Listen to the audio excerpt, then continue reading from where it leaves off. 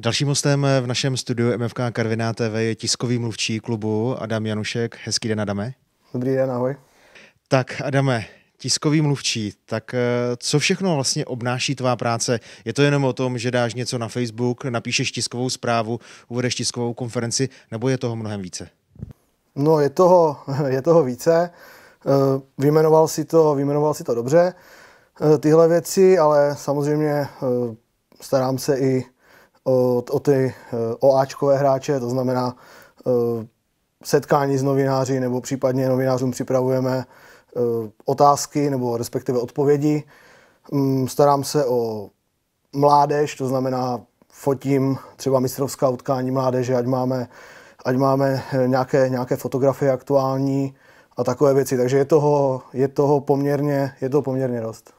Poměrně dost, ale ty se vlastně musíš starat taky o zástupce médií během utkání a taky vlastně o soupeře, protože tam komunikuješ zase s tiskovým mluvčím daného soupeře u pokud jde o zápasy Ačka. Ano, eh, je to, je to velký rozdíl, eh, druhá a první liga, takže teďka vlastně tu druhou sezónu eh, zažíváme to jako ostatní kluby, ty prvoligové, takže je to velmi zajímavá práce, je toho víc než ve druhé lize, je to víc sledovanější, i profesionálnější, takže určitě je to velmi zajímavá práce a hodně mě to baví hodně tě to baví, takže kolik času třeba strávíš tady na stadionu, nebo musíš být jenom na stadionu, nebo můžeš pracovat i z domu, protože ty o víkendech, když Ačko hraje venku, tak eh, řekněme v 90% případech, někdy i ve 100% eh, jedeš s Ačkem na ten zápas.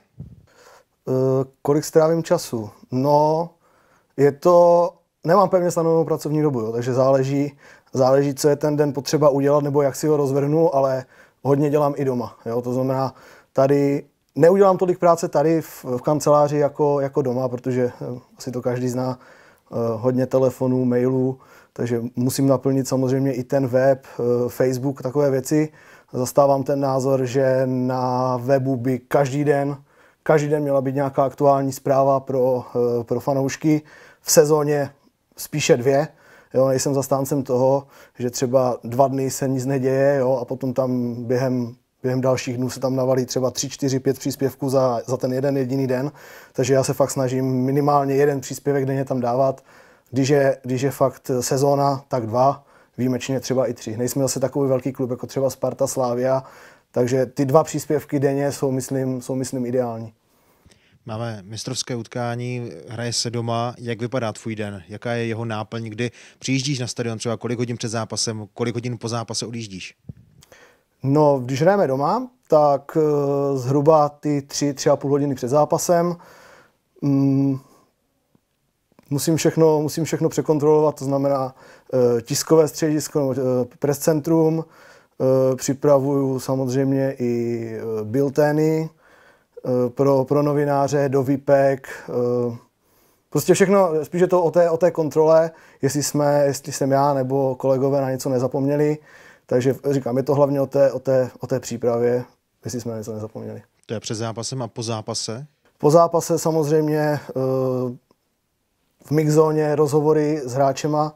Vždycky záleží, koho si novináři určí, takže eh, zajdu do kabiny pro ty vybrané hráče, potom tisková konference s hlavním trenérem a potom samozřejmě mm, naplnit web, Facebook, Eh, těmi aktuálními věcmi. Tam se to snažíme dělat, já nevím, s nějakou časovou prodlevou. Takže ten jeden, dva dny se věnujeme vždycky tomu zápasu. Nebo tomu pozápasovému servisu, tak abych byl přesný. Tak a byl ten vzniká třeba jak dlouho teda? E, pracuje se na něm hned po skončení toho posledního zápasu, nebo si dáváte pauzu, čekáte na výsledek e, toho dalšího utkání, které se většinou hraje venku?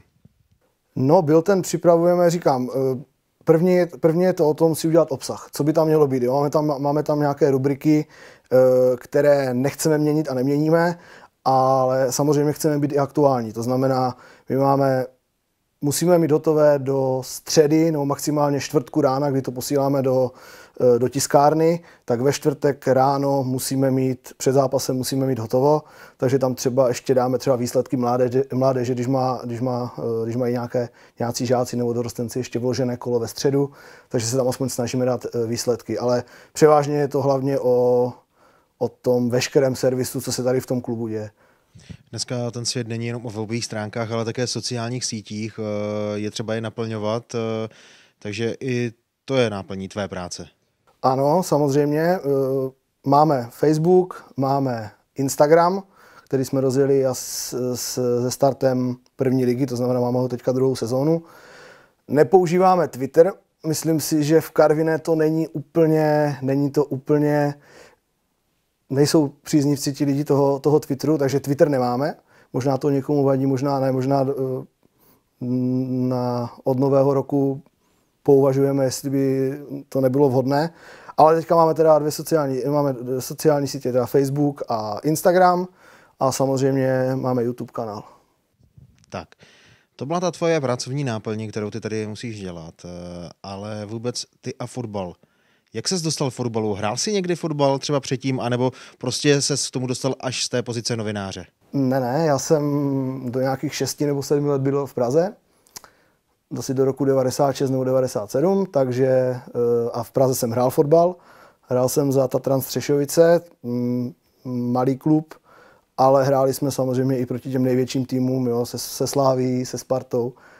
Sice jsme dostávali velké nakládačky, ale bylo to, byl to svátek. No, zahrál jsem si i na letné, přímo na hlavním hřišti, to bylo něco neskutečného. Ale to Pokud, je tak rok 96-97. Pokud jim, tak se i golově prosadil. Ano, prohráli jsme sice hodně, 1-17, ale dal jsem gol Slávy.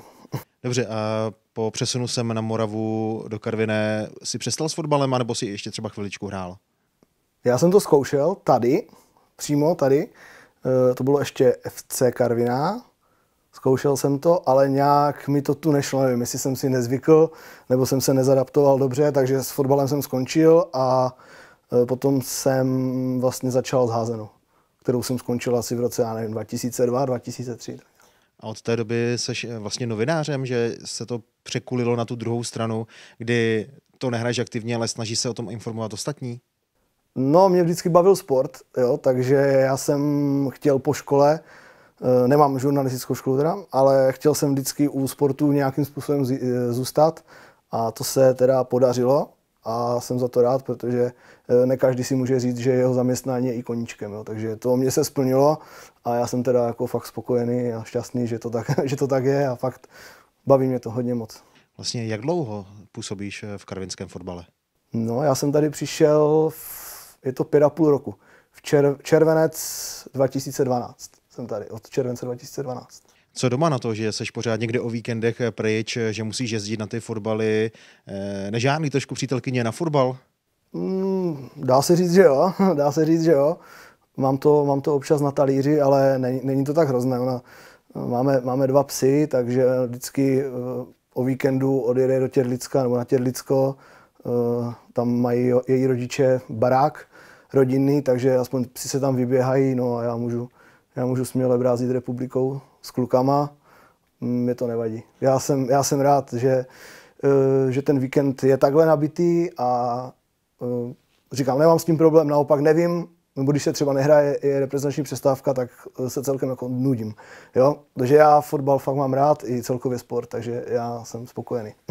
Tak my budeme věřit, že se nebudeš nudit třeba i v tom dalším kalendářním roce 2018, že budeš mít spoustu pozitivních zpráv, které budeš moci umistovat na Facebook, na webové stránky MFK Karvina. Hostem v našem studiu MFK Karvina TV byl Adam Janušek, tiskový mluvčí klubu. Díky. Já taky děkuji, nashledanou, mějte se.